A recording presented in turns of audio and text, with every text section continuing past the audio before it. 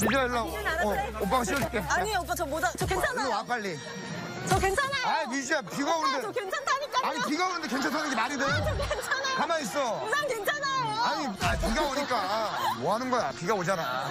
어 정말.